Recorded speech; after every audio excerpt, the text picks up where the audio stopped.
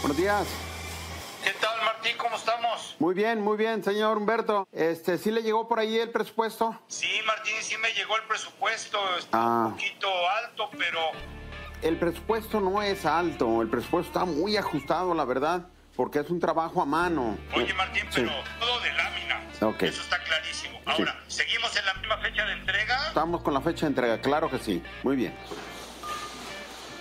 Entonces hay que lijarlo y pulirlo de una vez para Navarro. que quede.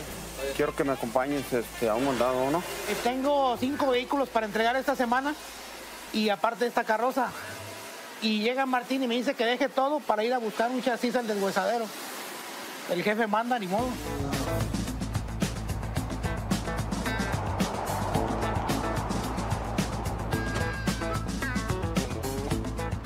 Mira, Navarro, ¿Ve? este a mí se me hace bueno. Este, si el motor está bueno, adelante, a mí sí Está bien chocadote, ¿cree que el motor esté bueno? Bueno, el golpe es lo menos, no lo ocupamos. Eh, hace mucho que Martín no sale a comprar carros. Si el dueño de este negocio se fija bien lo que está vendiendo, le va a subir el precio.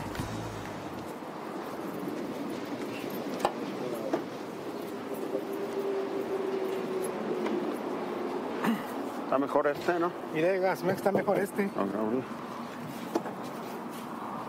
a mí me gusta más este que aquel, ¿eh? Pues es que este está mejor de carrocería, pero este vale más que el otro.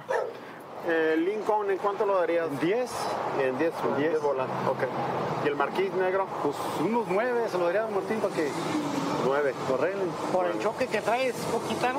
Poquita o lo que le baja, ¿no? Pues está bien, Martín. Que aquel se ve más entero y aquel por el golpe, pues no sabemos lo que traiga abajo. Pues unos Si 8. hay que arreglarle algo abajo, Unos 8 se los siete. Lo, ahí nos lo llevamos una vez, tenemos en 7,500 y vámonos.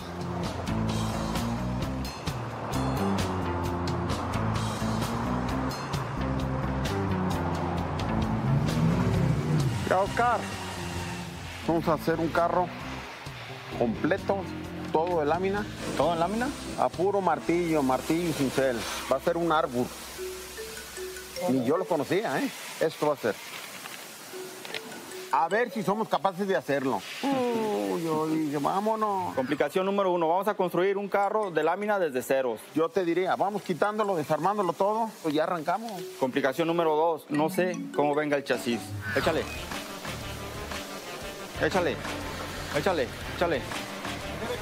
Es derecho. Es derecho.